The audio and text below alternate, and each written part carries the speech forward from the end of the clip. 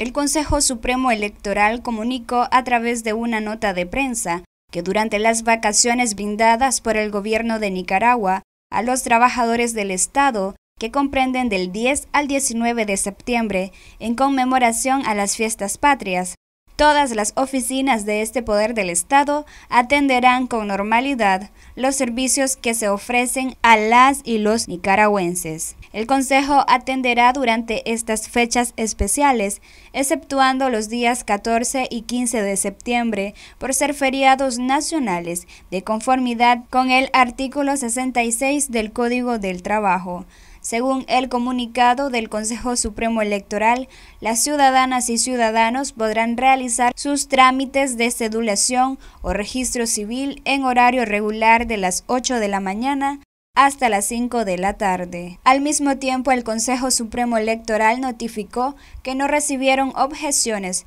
por parte de los partidos políticos y alianzas acerca de las demarcaciones y ubicaciones de los centros de votación habilitados para las elecciones generales del próximo 7 de noviembre del 2021. En la misiva también informan que el próximo 23 de septiembre se procederá a entregar a los partidos y alianzas la plataforma electoral definitiva ya con el padrón electoral definitivo, lo cual es indispensable para el nombramiento de las y los fiscales y ternas de las juntas receptoras de votos de cara a comicios electorales 2021. Luisa Centeno, Noticias 12.